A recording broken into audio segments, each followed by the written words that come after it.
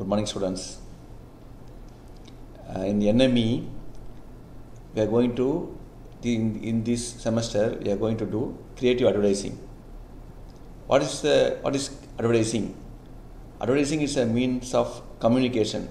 It's, it's purposely for communication of a product and uh, product sometimes sometimes service. Uh, to promote a product is very important in advertising. Creative advertisement. To promote a product creatively and effectively to reach the customer consumers very easily. Advertisement நம்ம லைஃப்பில் எப்படி இருக்குது அப்படின்னு நம்ம பார்த்தோம்னா நம்ம morning ஏஞ்சி ஒரு டூத் ப்ரஷ் ஒரு நம்ம வந்து ஒரு பெட் ஸ்ப்ரெட்லேருந்து ஓப்பன் பண்ணிவிட்டு நம்ம வெளிலேருந்து ஒரு டூத் ப்ரஷ் எடுத்து ப்ரஷ் பண்ணுறதுலேருந்து நம்ம யூஸ் பண்ணுற ஒவ்வொரு நம்ம யூஸ் பண்ணுற பேகு ட்ரெஸ்ஸு நம்ம யூஸ் பண்ணுற pen pencil chair table laptop system mobile phone அதுலேருந்து ஆரம்பித்து நம்ம சாப்பிட்ற ஃபுட்டு நெக்ஸ்ட் வந்து அதுக்கப்புறம் நம்ம ரெஸ்ட் ரூமில் போயிட்டு யூஸ் பண்ணுற வாஷ் பேஷின்லேருந்து டேப்லேருந்து ஷவரில் யூஸ் பண்ணுறதுலேருந்து வாட்டர் கிளாஸ்னு சொல்லுவாங்க. நம்ம டாய்லெட் போகிறோம் அதுலேருந்து டைல்ஸ் ஒட்டு அது கீழே பாத்ரூமில் இருக்க டைல்ஸ்லேருந்து ஹாலில் இருக்க டைல்ஸ்லேருந்து வீட்டில் இருக்க லைட் அண்ட் டியூப்லேருந்து ஃபால் சீலிங்லேருந்து பெயிண்ட்லேருந்து நம்ம அந்த வாலில் இருக்க பெயிண்ட்லேருந்து நைட்டு நம்ம தூங்க போகிற பெட்டில் போய் லாஸ்ட்டாக தூங்க போகிறோம் அந்த பெட்டுலேருந்து அந்த பெட்டில் இருக்க அந்த பெட்டு பில்லோ கவர்லேருந்து பில்லோ பில்லோ கவர் எல்லாமே வந்து அட்வர்டைஸ்மெண்ட் இல்லாமல் ஒரு விஷயம். காலிலேருந்து நம்ம நைட் தூங்குற வரைக்கும் அத்தனை ப்ராடக்ட்டுக்கும் அத் நம்ம யூஸ் பண்ணுற அத்தனை ப்ராடக்ட்டுக்கும் அட்வர்டைஸ்மெண்ட் இருக்குது ஸோ அது எல்லாத்துக்குமே அட்வர்டைஸ்மெண்ட் தேவை. நிறைய அட்வர்டைஸிங்ன்றது பெரிய ஃபீல்டு அதுக்குள்ள ஏகப்பட்ட பேர் வந்து ஐடியா இன்னோவேட்டிவ் ஐடியாஸோடு இருக்க எல்லாருக்குமே வந்து அந்த ஃபீல்டில் நல்ல ஆப்பர்ச்சுனிட்டிஸ் இருக்குது நீங்கள் வந்து ஒரு கம்பெனியில் ஒர்க் பண்ணி பண்ணாலும் ஓகே நீங்களே க்ரியேட்டிவாக ஒரு நீங்களே வந்து ஒரு கம்பெனியை ஸ்டார்ட் பண்ணாலும் ஒரு ஆண்டர்ப்ரனராக இருந்து ஒரு கம்பெனி ஸ்டார்ட் பண்ணி பண்ணாலும் ஓகே தான். ஸோ அது வந்து ரொம்ப ரொம்ப உங்களுக்கு யூஸ்ஃபுல்லாக இருக்கும். இந்த க்ரியேட்டிவ் அட்வர்டைஸ்மெண்ட்ன்ற இந்த க்ரியேட்டிவ் அட்வர்டைஸிங்ன்ற இந்த சப்ஜெக்ட் வந்து ரொம்ப ரொம்ப யூஸ்ஃபுல்லாக இருக்கும். அது வந்து நான் கண்டிப்பாக கேரண்டியாக ஷியூராக சொல்வேன். Creativity is the most important in advertising because of this creativity the ad will always memorable long lasting impressions to attract the consumers and make your brand to top. But the quality is very important too. Effective advertising reaches potential customers and informs them about your products types of advertising newspaper magazines radio television outdoor online direct mail catalog etc good qualities of advertisement it should be simple it should catch viewers attention it should suggest it should suggest it should have conviction value it should educate the people it should have memorizing value it should be true otherwise it should be rejected for example oats வந்து நம்ம oats தான் வந்து ரொம்ப ரொம்ப முக்கியம் oats இல்லாமல் நம்ம breakfast சாப்பிடக்கூடாது ஓட்ஸ் தான் வந்து ரொம்ப ஹெல்த்தியானதுன்னு சொல்லிட்டு ஒரு டென் இயர்ஸ்க்கு முன்னாடி பயங்கரமாக ஃபிஃப்டீன் இயர்ஸ்க்கு முன்னாடி பயங்கரமான ஒரு ஆட்லாம் வந்துட்டு இருந்துச்சு அப்படியே வந்து எல்லோரும் ஓட்ஸ்க்கு சேஞ்ச் ஆனாங்க. ரொம்ப நேரம் ரொம்ப நாள் அது ஓட்ஸ் வந்து பயங்கரமாக போயிட்டு இருந்துச்சு சேல்ஸும் எக்கச்சக்கமாக போயிட்டு இருந்துச்சு உங்களுக்கு எல்லாருக்கும் தெரியும் ஓட்ஸ் பற்றி அப்புறம் ஒரு டைம் ஆக டைம் ஆக கொஞ்ச நாள் கழிச்சு ஒரு அவேர்னஸ் க்ரியேட் ஆச்சு. இட்லி தான் பெட்டரான ஃபுட்டுன்னு சொல்லிட்டு. அப்போ ஓட்ஸ் ஓட்ஸோட சேல்ஸ் அப்படியே கம்மியாச்சு. ஓட்ஸ் சம்மந்தமான அட்வர்டைஸ்மெண்ட் ரொம்ப ரொம்ப கம்மியாகிட்டே போச்சு. எல்லா டிபார்ட்மெண்ட்ஸ்லேயும் ஓட்ஸ் வந்து ஏகப்பட்டது ஸ்டாக் ஆகிருக்கு ஆனால் எதுவுமே பெருசாக சேல்ஸ் ஆகலை இப்போ வரைக்கும். செகண்ட் எக்ஸாம்பிள் நம்ம பார்த்தோம்னா அந்த அதாவது இட் ஷுட் பி அந்த advertisement should be ட்ரூன்றதுக்கு fair and lovely fair and lovely பார்த்தீங்கன்னா உங்களுக்கு சிக்ஸ் வீக்ஸில் வந்து நீங்கள் ஃபேர் ஆகிடலாம் ஃபேர் ஆகிடலாம்னு சொல்லிட்டு ஏகப்பட்ட பேர் வந்து ஃபேர் ஆகணுன்ற ஒரு தப்பான மைண்ட் செட்டில் ஃபேர் ஆனால் தான் இங்கே மனுஷனாக மதிப்பாங்கன்ற மாதிரி ஒரு இதை அவங்களே க்ரியேட் பண்ணிட்டாங்க யாருமே இந்த கேரக்டர்லாம் பார்க்குறது இல்லை வெள்ளி தோற்றம் அந்த ஃபேர் அப்படின்ற ஒரு விஷயத்துக்கு எவ்வளோ இம்பார்ட்டன்ஸ் கொடுக்க ஆரம்பித்தாங்க அதுவும் நம்ம ஊரில். நம்ம அந்த ஒவ்வொரு அந்த சாயில் அந்த மண்ணுக்கும் ஒரு ஒரு இது இருக்குது அதை பொறுத்து தான் அந்த கலருன்றது ஒரு ஜெனட்டிக்காக ஒரு டிஎன்ஏ மூலமாக வருதுன்றதே அவங்களால புரிஞ்சிக்க முடியல.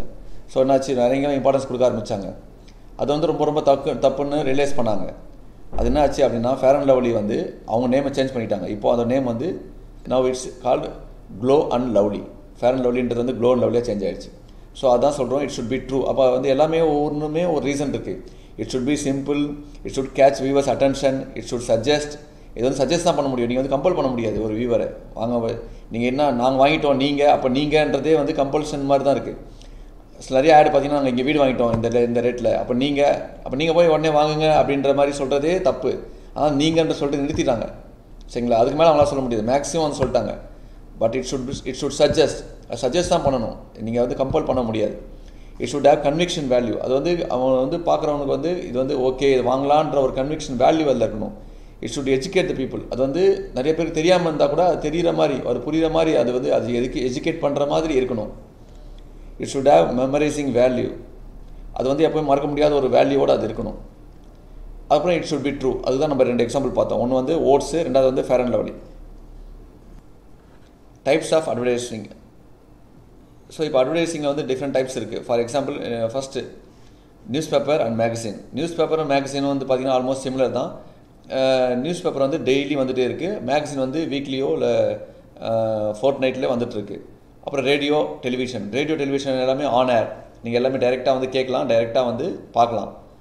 விஷுவலாக பார்க்கறதுக்கு வந்து உங்களுக்கு டெலிவிஷனும் நீங்கள் வந்து கேட்குறதுக்கு ரேடியோவும் இருக்குது எஃப்எம் எல்லா எஃப்எம்மும் வந்து ரேடியோக்குள்ளே தான் வரும். எஃப் எஃப்எம்ல இருக்க எஃப்எம்ல வர எல்லா அட்வர்டைஸ்மெண்ட்ஸும் comes under the category of radio and then outdoors outdoors நீங்கள் வெளில போகும்போது நிறையா பார்க்குறீங்க. அவுட்டோர்ஸ் அட்வர்டைஸ்மெண்ட்ஸ் இருக்குது ஆன்லைன் அட்வர்டைஸ்மெண்ட் ஆன்லைன் அட்வர்டைஸ்மெண்ட் நீங்கள் பார்த்தீங்கன்னா ஆன்லைனில் வந்து நீங்கள் யூடியூப் சேனல்ஸில் பார்த்தாலும் சரி உங்களுடைய மெயிலை ஓப்பன் பண்ணி பார்த்தாலும் சரி வேறு ஸோ நீங்கள் ஏதாவது ஒரு டீட்டெயில்ஸ் வந்து கூகுளில் போய் நீங்கள் சர்ச் பண்ணாலுமே அதுக்கு நிறைய அட்வர்டைஸ்மெண்ட்ஸு வந்துகிட்டே இருக்கும். சின்ன சின்ன ஸ்மால் ஸ்மால் சைஸில் வேரியஸ் சைஸில் உங்களுக்கு நிறைய அட்வர்டைஸ்மெண்ட் வந்துகிட்டே இருக்கும். அந்த அட்வர்டைஸ்மெண்ட்டாக நீங்கள் ஓப்பன் பண்ணி ஓப்பன் பண்ணி பா ஓப்பன் பண்ணி பார்க்க நீங்கள் நீங்கள் மெயில் பார்க்க பார்த்து நீங்கள் எதாவது பார்த்துட்டு இருக்கும்போதே ஏதாவது வந்து சர்ச் பண்ணும்போதே சைடில் வந்து அட்வர்டைஸ்மெண்ட் வந்துகிட்டே இருக்கும். நீங்கள் அது அது சேஞ்ச் ஆகிட்டே இருக்கும். அது நீங்கள் பார்க்கலாம். அதே மாதிரி யூடியூப்பில் வந்து நீங்கள் பார்க்கும்போது அட்வர்டைஸ்மெண்ட் பிரேக் ஆகி அந்த கண்டென்ட்டே பிரேக் ஆகியும் நடுவில் ஆட் வரும். அதுவும் நீங்கள் பார்த்துருப்பீங்க. நெக்ஸ்ட் வந்து டைரக்ட் மெயில் ஆன்லைன் முடிஞ்சதுக்கப்புறம் டைரக்ட் மெயில் டைரக்ட் மெயிலாக உங்களுக்கு மெயிலுக்கே சைட்டாகவே வந்து ஓப்பன் பண்ணி பார்த்தீங்கன்னா உங்களுக்கு வந்து ஏதாவது ஒரு ஆடு ஏதாவது ஆஃபரோட இருக்க ஒரு ஆடு நீங்கள் பர்ச்சேஸ் பண்ணுற மாதிரியோ இல்லை உங்களுக்கு தேவையான ஆடோ இல்லை இன்சூரன்ஸ் சம்மந்தமாகவோ ஹெல்த் இன்சூரன்ஸ் சம்மந்தமாகவோ ஏதாவது ஒரு ஆட் வந்து ரெகுலராக வந்துகிட்டே இருக்குது ஆல்மோஸ்ட் நீங்கள் ஏதாவது ஒரு ஆட் நீங்கள் அன்சப்ஸ்கிரைப் பண்ணுற வரைக்கும் அந்த ஆட் ரிப்பீட்டாக வந்துகிட்டே இருக்கும். நீங்களே இப்போ உங்களுக்கே வந்து சம்டைம்ஸ் வந்து இரிட்டேட் பண்ணுற மாதிரி இருக்கும். அவ்வளோ ஆட் வந்துட்டுருக்கு உங்களுக்கு. ஸோ அதுக்கப்புறம் கேட்லாக்ஸ் கேட்லாக்ஸு பார்த்தீங்கன்னா உங்களுக்கு எல்லா இப்போ ஒரு டிவி இருக்குது சோனி டிவி வாங்குகிறோம் அப்படின்னா அந்த சோனி டிவி எவ்வளோ வெரைட்டிஸ் இருக்குது அது என்ன ப்ரைஸ் இருக்குது அது என்ன ஸ்பெசிஃபிகேஷன்ஸ் இருக்குது எல்லாமே வந்து நீங்கள் கேட்லாக் பார்த்து தான் தெரிஞ்சுப்பீங்க. ஸோ கேட்லாக்கு அதில் வந்து ஒரு அதில் வந்து டீட்டெயில்ஸு அதுவும் வந்து ஒரு டைப் ஆஃப் அட்வர்டைஸ்மெண்ட் தான். ஆனால் லீஃப்லெட் நிறைய லீஃப்லெட் கொடுப்பாங்க. பேப்பர்லேயே வந்து உங்களுக்கு நியூஸ் பேப்பர்லேயே சேர்ந்து வரும். நீங்கள் போகிற வழியில் கொடுத்துட்ருப்பாங்க. ரோட்டில் நின்று ஸோ அது மாதிரி நிறைய லீஃப்லெட்டு இதுக்கப்புறம் நிறையா இதுக்கப்புறம் டேங்லர் நிறையா இருக்குது எக்ஸெட்ரா நிறையா சொல்லலாம். அதுக்கு லிமிட்டில் அவ்வளோ இருக்குது நம்ம டைப்ஸ் ஆஃப் அட்வர்டைஸ்மெண்ட் பார்த்தோம். அதில் வந்து நம்ம இப்போ பண்ண போகிறது வந்து இந்த என்எம்இயில் நம்ம பண்ண போகிறது பிரிண்ட் அட்வர்டைஸ்மெண்ட் ஸோ மேகசைன்ஸ்க்கும் நியூஸ் பேப்பர்ஸ்க்கும் வர பிரிண்ட் அட்வர்டைஸ்மெண்ட் எப்படி பண்ண போகிறோம் அதுக்கு என்னென்னலாம் வேணும்? நம்மளுக்கு என்னென்ன தேவை?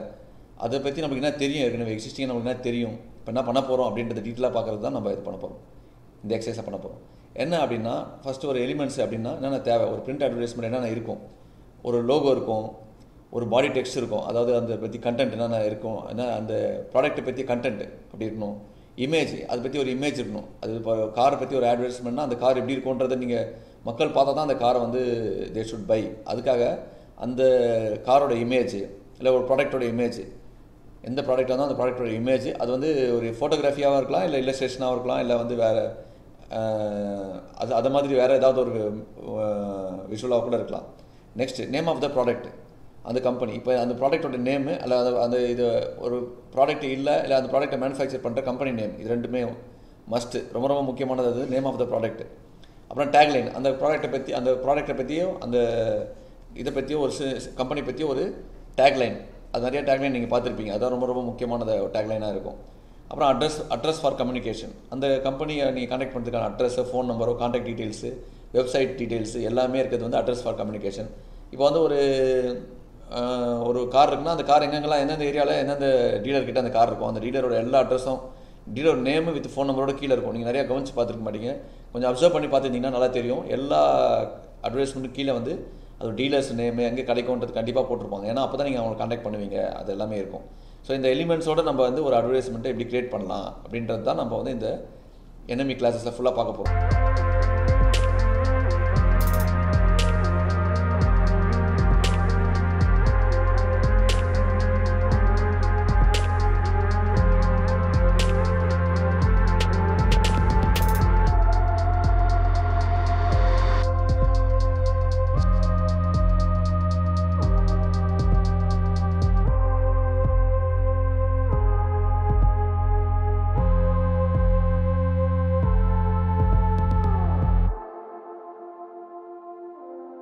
இதில் நான் இப்போ பேசிட்டு இருக்கிறது எல்லாமே ஒரு இன்ட்ரொடக்ஷன் கிளாஸ் தான். ஃபஸ்ட்டு கிளாஸ் ஒரு இன்ட்ரடக்ஷன் கிளாஸ் ஸோ நம்ம அந்த இன்ட்ரடக்ஷன் கிளாஸில் எலிமெண்ட்ஸ் அந்த அட்வர்டைஸ்மெண்ட் பண்ணுறதுக்கு பிரிண்ட் அட்வர்டைஸ்மெண்ட் பண்ணுறதுக்கு பிரிண்ட் ஆட் பண்ணுறதுக்கு என்னென்ன எலிமெண்ட்ஸ்லாம் தேவைன்றதை பற்றி பார்த்தோம். நெக்ஸ்ட் வந்து என்ன பண்ண போகிறோம்னா ஃபஸ்ட்டு வந்து இதில் லோகோ அப்படின்றத எடுத்துக்கிறோம். லோகோ எடுத்துக்கிட்டோம்னா நம்ம ஃபஸ்ட் லோகோலேருந்து ஆரம்பிக்கிறோம். ஃபஸ்ட் எக்ஸசைஸ் ஷுட் பி லோகோன்னு வச்சுங்களேன் அந்த லோகோ நான் எப்படி இருக்கும் அப்படின்னா லோகோனா என்ன? இது வந்து ஒரு சி- சின்ன ஒரு டிசைன் அந்த டிசைன் வந்து என்ன பண்ணோம்னா அந்த ப்ராடக்ட்டோட பிராண்ட் வேல்யூ வந்து இன்க்ரீஸ் பண்ணி காமிக்கும். அந்த லோகோ பார்த்தோம்னா இது வந்து இந்த ப்ராடக்ட்டு இப்போது சுசுக்கியோட லோகோ வந்து எஸ் மாதிரி இருக்கும். ஹுண்டாயோட லோகோ எப்படி இருக்கும்? பிஎம்டபிள்யூ லோகோ எப்படி இருக்கும்? ஒரு ட்ரையாங்கிளாக இருந்துச்சுன்னா அது வந்து பென்ஸோட லோகோ அப்படின்ற அந்த லோகோ பார்த்தா அது வந்து பென்ஸ் கார்னு நம்ம சொல்கிறோம் ஸோ அந்த லோகோ வந்து அந்த அதற்கு ஒரு ஒரு இன்ட்ரடக்ஷன் மாதிரி கூட நம்ம வச்சுக்கலாம். அது வந்து லோகோ வந்து நம்ம என்ன பண்ணுது? ஐடென்டிஃபை பண்ணுறதுக்கு ரொம்ப யூஸ்ஃபுல்லாக இருக்குது ஸோ அந்த ஐடென்டிஃபை அப்படின்றது வந்து எப்படி இருக்குன்னா நம்மளுடைய மக்கள் பீப்புள்ஸ் மைண்டில் வந்து அவன் ரிஜிஸ்டர் பண்ணுறான் இந்த மாதிரி இந்த அவன் ஒரு குவாலிட்டியாக ஒரு பிராண்ட் கொடுத்துட்டே ஒரு ஒரு பிராண்டு வந்து குவாலிட்டியாக கொடுக்கும்போது அவங்க மைண்டில் ஆட்டோமேட்டிக்காக அந்த லோகோ வந்து ரிஜிஸ்டர் ஆகுது. ஸோ அந்த லோகோ அப்படின்றது தான் ரொம்ப ரொம்ப முக்கியமானதாக இருக்குது ஸோ லோகோ ஃபஸ்ட்டு நம்ம என்ன பண்ணுறோம் லோகோ ஸ்டார்ட் பண்ணுறோம் லோகோ டிசைன் பண்ணுறது ஸ்டார்ட் பண்ணுறோம் அந்த லோகோ டிசைன் பண்ண ஸ்டார்ட் பண்ணுறதுக்கு முன்னாடி லோகோன்றது எப்படி இருக்கும் அப்படின்னு சம் சாம்பிள்ஸ் நம்ம காமிக்கிறோம். சரிங்களா? ஏன்னா எக்ஸிஸ்டிங் லோகோ நீங்கள் பார்த்துருப்பீங்க. நைக்கினா ஒரு டிக் மாதிரி இருக்கும். ஜஸ்ட் டூ இட்னு போட்டிருக்கோம். அந்த ஜஸ்ட் டூ இட் தான் டேக்லைன் நைக்கியோட டேக்லைன் வந்து ஜஸ்ட் டூ இட்டு சரிங்களா? இப்போ வந்து இம்பாசிபிள் இஸ் நத்திங் அப்படின்னு போட்டால் அது அடிடாஸோட டேக்லைன் அப்படி இருக்கும். அடிடாஸ் வந்து ஒரு ஷூ கம்பெனி அதில் மூணு ஸ்ட்ரிப்ஸ் மூணு ஸ்ட்ரிப்ஸ் இருக்க மாதிரி இருக்கும். ஸோ அது எல்லாத்துக்குமே வந்து பார்த்திங்கன்னா வந்து ஒரு லோகோக்கும் நம்ம அதை பார்த்தோன்னே இது அடிடாஸு இது வந்து நைக்கி இது பூமா அது மாதிரி ஒவ்வொரு ஷூஸு அது மாதிரி ஒவ்வொரு பிராண்டுக்கு இப்போ சோனி அப்போ வந்து சாம்சங்கு அது மாதிரி ஒவ்வொரு டிவிக்கும் இப்போ எம்ஐன்னு ஒரு புதுசாக டிவி வந்திருக்கு. ஸோ இது மாதிரி எல்லா இதுக்குமே வந்து ஒரு லோகோ கண்டிப்பாக இருக்கும். அந்த லோகோ தான் அவங்களோட அந்த பிராண்டு வந்து நம்மளுக்கு ரெமெம்பர் மக்கள் மைண்டில் வந்து ரிஜிஸ்டர் ஆகி நம்ம நம்ம ரெமெம்பரன்ஸாக அதை வச்சுக்கிறதுக்கு வந்து அந்த லோகோ ரொம்ப ரொம்ப முக்கியம். ஸோ அந்த லோகோ அந்த லோகோ வந்து எப்படி போடுறது அப்படின்றதுக்கு முன்னாடி எக்ஸிஸ்டிங் லோகோ என்ன இருக்குன்றதை பார்த்து அதை ஸ்டடி பண்ணுறோம் ஃபஸ்ட்டு இப்போ நான் வந்து உங்களுக்கு ரெண்டு மூணு எக்ஸிஸ்டிங் லோகோ வந்து ரெண்டு மூணு பேஜ் காமிக்க போகிறேன் அதில் ஒவ்வொரு பேஜ்லையும் ஒரு four to five logos more then four logos அப்படி இருக்கும் அந்த எக்ஸிஸ்டிங் அந்த ரெண்டு பேஜை பாருங்கள் ஒரு பேஜ் போட்டதுக்கு ஒரு பேஜ் நீங்கள் பார்த்தீங்கன்னா இதுக்கப்புறம் ஒரு ஸ்பேஸ் கொடுப்பேன் நான் ஒரு three minutes to four minutes நீங்கள் ஸ்டடி பண்ணுறது அடுத்த நெக்ஸ்ட் இமேஜ் நான் உங்களுக்கு ஷேர் பண்ணுவேன். அந்த ஷேர் பண்ணும்போது அதுலேயும் கொஞ்சம் நேரம் பாருங்கள் அதுக்கப்புறம் நான் வந்து எப்படி வந்து சிம்பிளாக லோகோ ஆரம்பிக்கிறது நீங்கள் நீங்கள் க்ரியேட்டிவாக லோகோ பண்ணுறதுக்கு என்னென்ன எப்படி பண்ணலாம் அப்படின்றதுக்கு நான் சில இமேஜஸ் வந்து நான் ஷேர் பண்ணுறேன் ஸோ இப்போ நீங்கள் ஸ்க்ரீனில் வந்து நான் சில existing logos I going to share you just study and observe the existing logos that will help you for creating a new logos.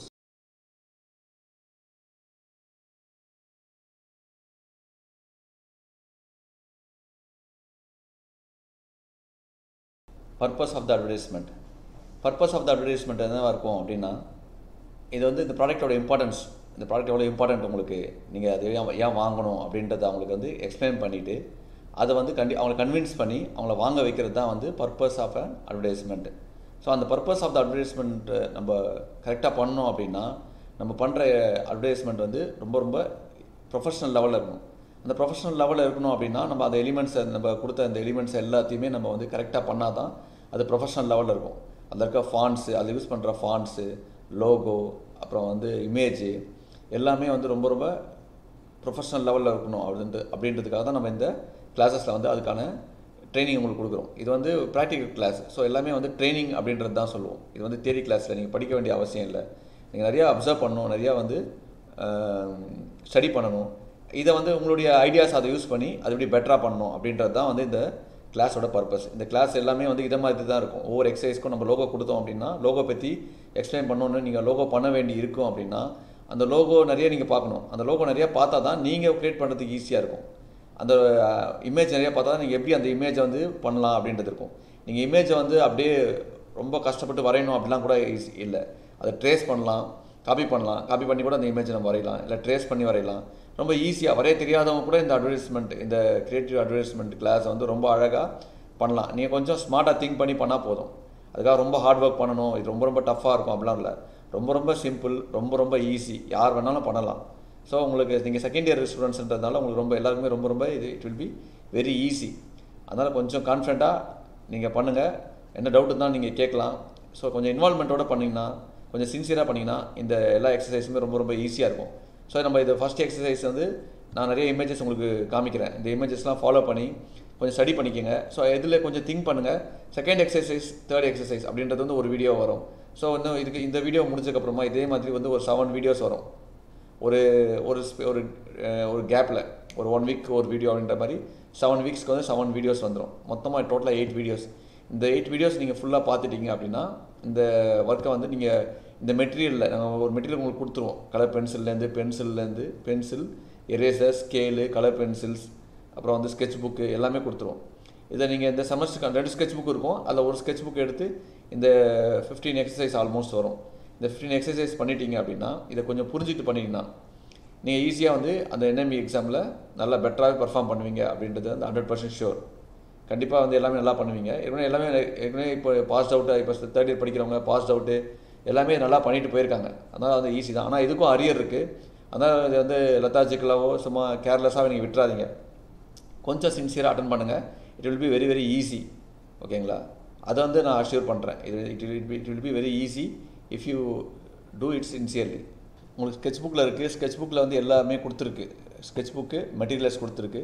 இந்த ஸ்கெட்ச் புக்கில் வந்து நீங்கள் இந்த ஒவ்வொரு ஒர்க்காக பண்ண போகிறீங்க சரிங்களா? ஃபஸ்ட் ரஃப் ஒர்க் நீங்கள் வந்து ஒரு ஸ்கெட்சை வந்து பண்ணி பார்த்துருங்க பண்ணி பார்த்துட்டு after that you can go for a fair one அந்த ஃபேர் ஒன் பண்ண ஃபேர் பண்ணும்போது நீங்கள் you can use colour pencil அந்த கலர் பென்சில் வந்து நீங்கள் அப்படியே அப்ளை பண்ணலாம். க்ளோஸராக அப்ளை பண்ணணும். அந்த ஒயிட் ஸ்பேஸ் இல்லாமல் க்ளோஸராக அப்ளை பண்ணிங்கன்னா அது வந்து பிரிண்ட் பிரிண்டிங் குவாலிட்டியில் இருக்கும். அந்த கலர் வந்து அழகாக அந்த ஏரியா ஃபுல்லாகவே கவர் ஆகிருக்கும் இது it is a water soluble colour pencil அது வந்து ஒரு வாட்டர் கலர் மாதிரியும் பண்ணலாம். அது வந்து வாட்டரில் டிப் பண்ணி நீங்கள் அப்ளை பண்ணலாம். நீங்கள் ஃபுல்லாக அப்ளை பண்ணிவிட்டு வாட்டர் டிப் பண்ணி ஒரு ப்ரஷ் வச்சு கூட அதை வந்து அந்த ஏரியா அழகாக ஃபில் பண்ணலாம். ரொம்ப ரொம்ப ஈஸியாக இருக்கும்.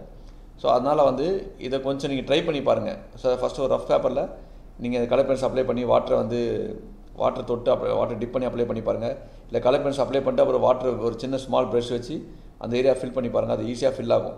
அதே டெக்னிக்கில் அதே மெத்தடை வந்து நீங்கள் அந்த ஸ்கெட்ச் புக்லேயும் பண்ணுங்கள் ஸ்கெட்ச் புக்லேயும் பண்ணிங்கன்னா உங்களுக்கு அந்த அந்த ஒர்க் வந்து ரொம்ப ப்ரொஃபஷனலாகவும் கலர்ஃபுல்லாகவும் இருக்கும்.